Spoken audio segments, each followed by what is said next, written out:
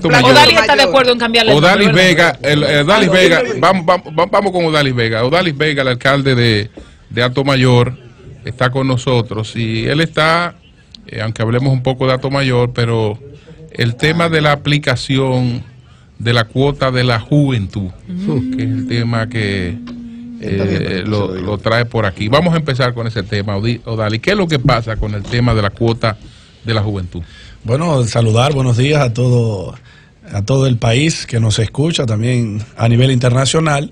Mira, sucede que eh, hemos estado reclamando a la Junta Central Electoral que, así como faltan otros reglamentos de aplicación de parte de la ley de partidos políticos, también que emite reglamento de aplicación de no solo la cuota de la juventud, sino también la cuota de la mujer, que la Junta no ha dicho cómo es que se va a aplicar. Sucede que la ley expresa que es de la propuesta nacional, que fue la palabra que utilizaron los legisladores para crear mayor confusión, porque cuando tú hablas de la propuesta nacional, tú eh, no se está explicando eh, a qué llaman propuesta nacional, si es del total o si va a ser por nivel de elección o si va a realizarse por demarcación. Pero por- al decir propuesta nacional, Ya. no es del total, ya descarta que sea por demarcación. Bueno, Pienso excelente. Pero el detalle está en que eso tiene que la Junta reglamentarlo para determinar que sea así, porque hay otras cosas que, aún siendo de la propuesta nacional, como por ejemplo, ahora se está debatiendo el tema de las reservas, que también ha generado confusión porque dice que es del total. Sí, pero los- en el caso de las reservas, Sí. ya la Junta dictaminó que es de, de la propuesta nacional, o sea, del total de las candidaturas, los partidos se pueden reservar hasta el 20%. O sea que en las otras, Claro. en las otras será, parece así. Claro, Sí, pero fíjate, el mismo la- presidente Y la Junta de la puede- Junta cuando explica que si él mismo en contra del, del 20%, cuando explica de que si se aplica del total, estamos hablando de 824 Claro cargos. o sí, sea, los sí. partidos, ¿qué primarias se van a celebrar en los partidos políticos? Porque ya ahí están todos los cargos, si son 32 senadores, 190 diputados. Los 150 principales cargos se son pueden opciones reservar. Para Claro. reservar. Tú no, no estás obligado a reservar. Entonces, en el caso de la La juventud, me explico. Tú tienes el 10% de la cuota de la juventud, pero el mismo, la misma Junta no expli- no ha explicado, ni la ley tampoco lo dice, eh, no ha aclarado porque los partidos pudieran jugar con la cuota y es buscarte una mujer joven, menor de 35 años, y un partido te dirá, ella es joven y es mujer, y estamos cumpliendo Sí. las dos cuotas con ella. Sí, y se, creo que Entonces se van a vulnerar los se derechos de la así. mujer y van a vulnerar los Y derechos se de la puede juventud. así, ¿eh? Hey, pero es verdad. Y se Claro, puede por así. eso estamos pidiendo a la Junta Que emite aparte. el reglamento de aplicación de cómo es que se va a aplicar ese 10% y el 40% también de las lo vamos a mujeres. un poco más. No, es que no hay un 40% de las mujeres.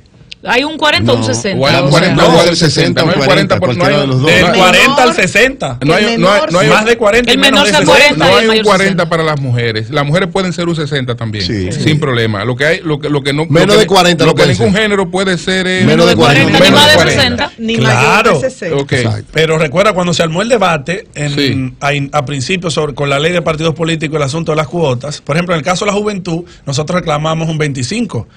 Eh, las mujeres reclamaban un 50 y algunos legisladores decían que si nos daban el 50 a las mujeres y el 25 a la juventud, ¿con qué se quedaban ellos? Entonces Nosotros dividieron quedamos 50 que pidieron las mujeres, 40 para ellos, que es lo que los partidos van a aplicar la mayoría, porque no le pone tope, le dice menos de 40, no puede ser menos de 40 ni más de 60. O- Odalis, pero pasa lo siguiente. Sí. Rápidamente recuerdo tres jóvenes que están en alcaldías del país. Es tu caso, el caso del alcalde de Villatapia Sí, y el caso de la chica de la Guayiga. Sí, que no Kimberly. Ya no está, ya no está. Ah, que ya, Sí, ya no, ya, ya no Saludo está. para Eh, Kimberly. Pero, Kimberly está. pero El te hago eh, refresco. entre eh, el peaje y Santiago. Entonces, digo Mira, esto no es para así. preguntarte por Sí. tu experiencia de comunicador, de político y de autoridad ya. ¿Qué tal les ha ido con la cuota de la juventud, ya con la vieja ley? No, porque ¿Qué antes, tantos jóvenes tenemos ahora no había. dirigiendo? Cuando nosotros salimos electos fue más difícil y por eso es que estamos No encabezando cuotas. esta lucha, claro, para que ahora los demás tengan oportunidad. Porque es difícil cuando tú aspiras en un partido político y la primera valla que tú tienes que saltar es eh, soltar ese mito de que es joven. Porque todos te dicen es muy muchacho, él puede esperar para la próxima. Entonces ahora los jóvenes tienen mayor oportunidad, pero esa oportunidad hay que esclarecérsela, cómo es que va a ser el método de aplicación. Porque también se da que si es de la propuesta nacional, solamente en Santiago, Santo Domingo Este, Norte, Oeste, y pudiéramos decir en las provincias grandes se puede cumplir con la cuota y ya se cumplió. Sí, y lo que queremos sí. es una real representación de los jóvenes Tú- en las tú- diferentes ¿Tú posiciones. quieres que sea por candidaturas? Debería ser, Eh, y aunque o- la o ley dice que propuesta nacional debería ser por niveles de elección o por demarcación, porque entonces, pero si ¿cuál sería la si verdadera Si la representación? ley dice que propuesta nacional, nada más hay una solución. No Que puede que ir el a cambiar la reglamento ley, no porque la. Junta no puede, la Junta no La puede, Junta no la. Junta no puede cambiar pero la el ley. reglamento, puede el reglamento tiene que dejar claro Sí. lo de la aplicación que no se entremezcle con la cuota de la mujer tampoco. A eso es que estamos, Pero sí ¿entiendes? se puede mezclar. Pero ven acá. Sí Claro. se puede. Pueden ser hombres jóvenes O y mujeres mujeres jóvenes. jóvenes, pero se puede porque Pero- los jóvenes o son hembras o son varones. No, claro. Obligatoriamente Claro, esos pero- jóvenes sí. hay que Bueno, cu- enmarcarlos. cuidado, cuidado. No, no, no, Julio, Sí, sí, sí, no, no, no, Julio, no, son no, varones o no, hembras. no, Julio, No me no, hagas no, otra no, cosa. no, Son no, varones o En este hembras. caso así. marca dentro del 40. Que la constitución de nosotros es clara. Lo que es igual no es ventaja. Eso es para la mujer como es para el hombre. O sea, Sí, no- en caso de una mujer joven vale para Claro, los lo que pasa es que se hombre debatió cuando también. se aplicó la cuota de la hombre juventud, debatíamos de que la persona que decida aspirar tiene que elegir por cuál de las, de, de las dos cuotas va. En el caso de las mujeres, Mm. tendrían que elegir si van por la cuota de la mujer o van por la cuota de la juventud. Eso era lo que se estaba debatiendo, pero, ahora... Eso no se entiende porque, por ejemplo, una mujer dice, ah, no, yo voy por la cuota de la juventud. Pero es mujer. Entonces el hombre Claro. puede argumentar, pero tú tienes una mujer ahí ya. No hay manera Sí, de es, es que la de la juventud eh, impacta en ambas. Necesariamente. Esa es la situación. Igual Tavera. Adelante, Waldo. Sí, Waldi, di- Mira, dilo sí. para que te escuchen. eh, lo que me Ponlo en voz alta. Espérate un momentito. A ver, incluir como poner como total de candidatura los suplentes a regidores y a vocales. Con eso, entonces, las, las reservas, en vez de ser un 20, son un 40. ¿Por qué? Porque nadie aspira a ser suplente de regidor ni suplente de vocal. Y eso sí sería una estafa contra la democracia de los partidos. Porque para tú escoger 800 y pico de candidaturas reales, porque las candidaturas municipales son 1.146 eh, regidores, 700 vocales y, eh, y 158 alcaldes.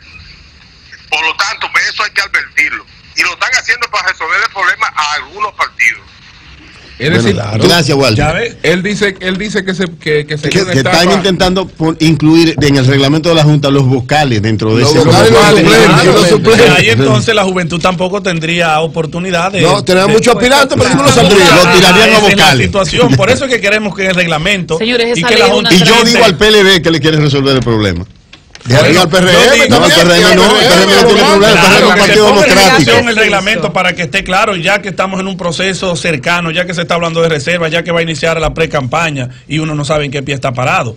Esto lo digo por la cantidad de jóvenes inmenso y que la mayoría están en el PLD que deciden aspir- están aspirando a posiciones electivas y en el PRM, pero que se esclarezca cuál es- en qué condiciones es que van a competir. Aquí este hay una torneo electoral. protesta de parte de Darío Cuba. Dice, está la cuota de la mujer, Sí. está la cuota de la juventud, falta la cuota de los viejos. Eso es discriminación contra El los 50 viejos. quedó ahí eh, de los viejos, no, de Las los... cuotas son inconstitucionales porque eh, la constitución dice que hablemos todos de- debemos ser iguales ante la ley. Pero es la eso manera es de ir logrando Eh, igual. Bueno, cualquiera que pero se puede una elevar, cuota, entonces. cualquiera que ojete una cuota de esa Pero ¿por qué ante nadie el se Tribunal? Constitucional ¿Por qué nadie se tiene ganancia de tema- la igualdad no vamos a poder hacer Y sobre el tema de la reforma, de, digo, de las reservas de candidaturas, ¿qué tú piensas?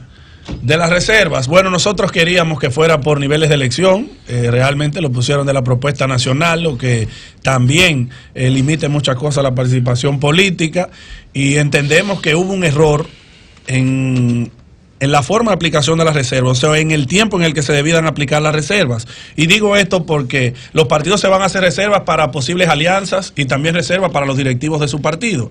Pero sin embargo las alianzas se firman 90 días antes de las elecciones. Entonces, ¿cómo tú desde ahora prevé posiciones electivas que tú vas a negociar en noviembre? Si todavía de aquí a noviembre el que tú puedas negociar no tiene los números para ganar, no te conviene o después al final se decide no hacer alianza.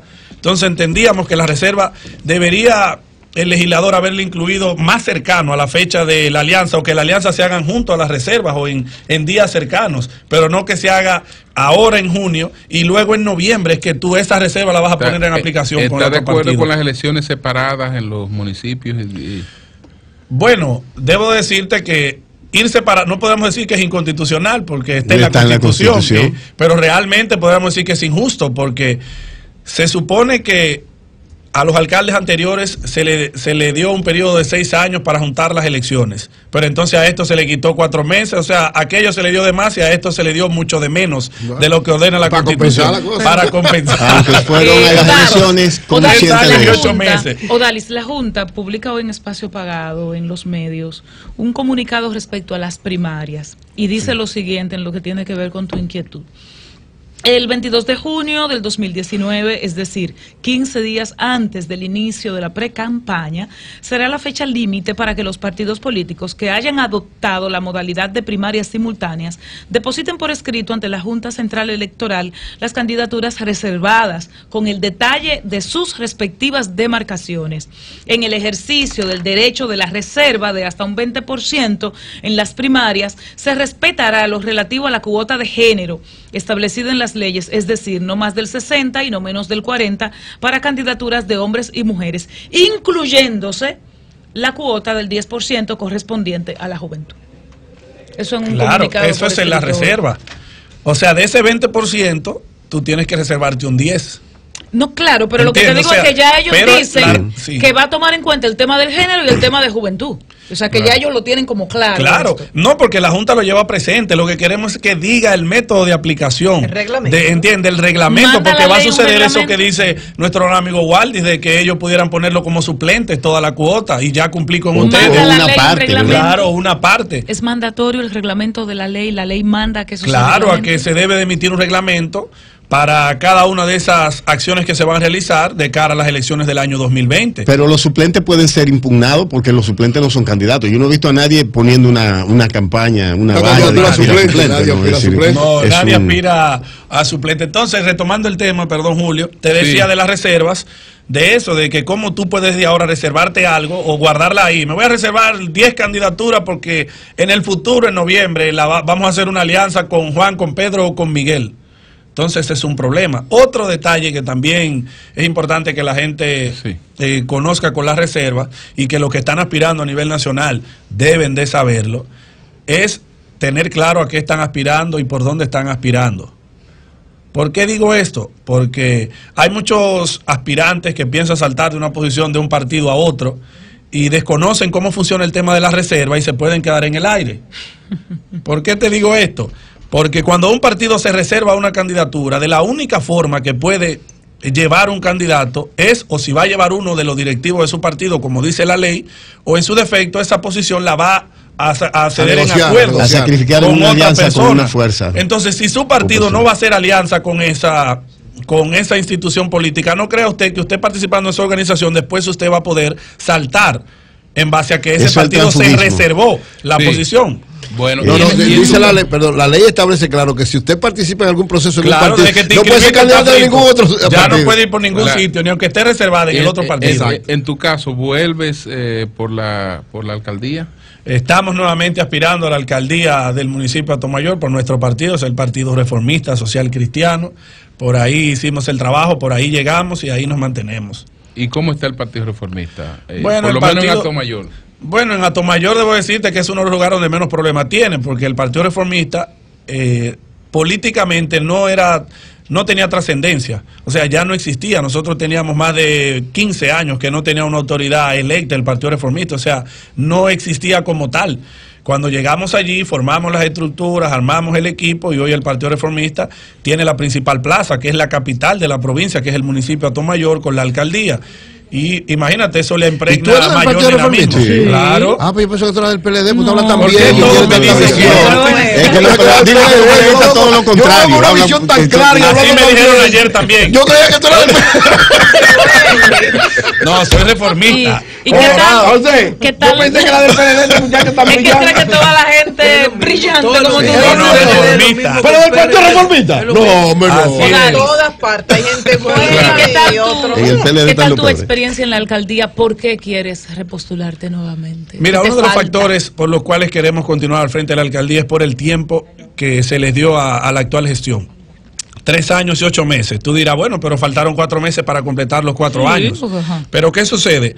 Y el, el más vivo ejemplo es la formación del personal. Tú tienes un personal que llegó allí que desconoce la función municipal como tal.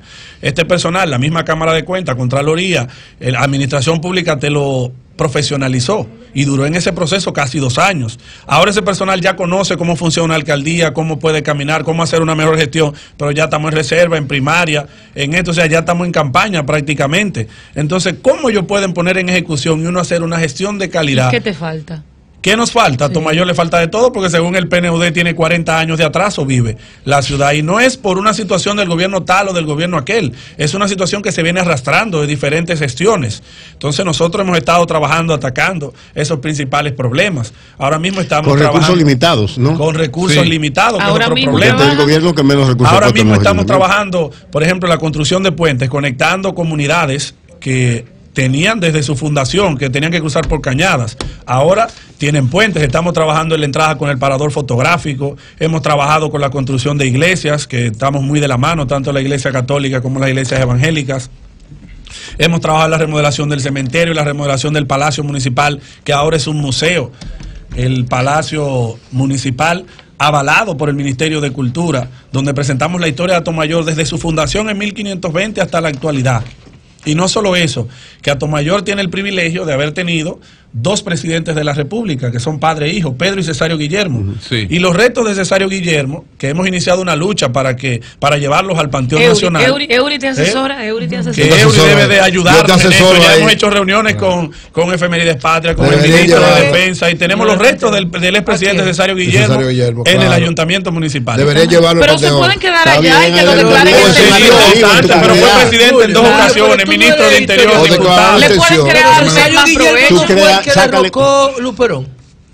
Él, él se reveló y. Julio no quiere Lo aclarar fueron este preso en, en el Pero de por todas ahí. maneras, ustedes- asesinado al momento de Ah, apresarlo. modelo- el sí. grupo. ¿Cómo que Se Pero refugió, ustedes le él- él- sí, él se rebeló contra y lo Ustedes. Lo dejamos por allá. Que lo. Déjenlo por allá. Déjalo allá en Lo dejamos allá.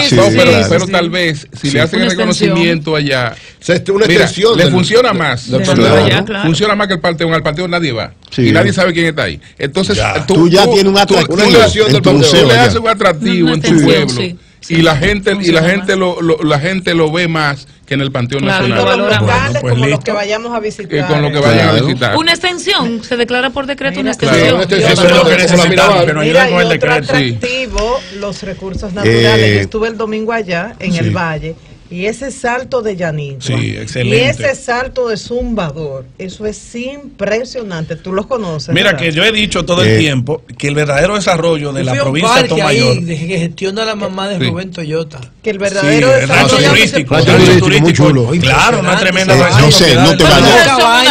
Te estoy hablando de acá, pero en Atomayor, ahí no es de Rubén. Así ¿Y es. tú le ganaste a Rubén? Yo no, porque yo no aspiro a senador. No, No, pero Rubén va- yo digo en la alcaldía, de que la- a Rubén. pero es que él no aspiraba a alcalde tampoco. Él aspiraba a Eh, senador y salió reelecto. Bonito, Pero acá- Camatema. Él quiere decir algo de los recursos naturales. Y tres personas hablando. Dilo, ¿qué vas a decir? Te decía que el verdadero desarrollo de la provincia de Tomayor será cuando se concluya la carretera Tomayor Sabana de la Mar. Ahí Nosotros sí. somos la verdad, primera provincia verdad. ecoturística declarada en el año 2002 y los mayores atractivos están en esos dos municipios donde la vía de acceso están con dificultad. Eso es verdad. Ahí está. Entonces- Incluso la vía de acceso al Seibo, a Tomayor el Seibo, que no sé si la han reparado la última Ya vez la que fui.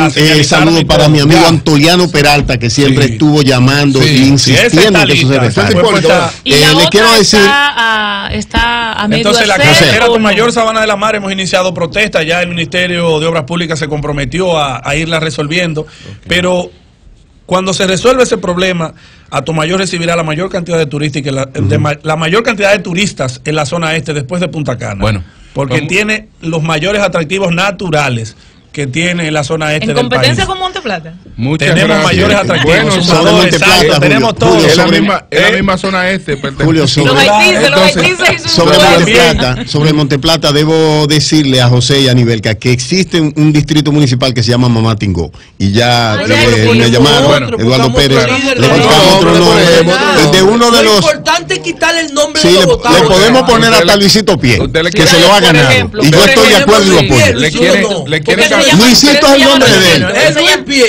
No, se llama. Luisito. Ustedes le quieren, cambiar los nombres a, pueblo ajeno. Aunque- ¿Quién, le- ha dicho que la gente de ahí quiere ¿Quién- cambiar su quién- nombre? la gente que nació ahí, que, es, historia, quiere, cambiar su ¿cuál es nombre. el nombre gentilicio de una persona de los votados? Botaense. Cambio fuera.